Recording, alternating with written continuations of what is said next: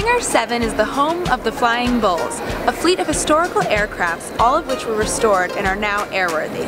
It is the seventh hangar of the Salzburg airport, and it was created by Austria's most famous personality, Dietrich Mateschitz. The stylish space displays not only a plane collection, but a remarkable collection of motorcycles, helicopters, and race cars, as well as a contemporary art exhibit.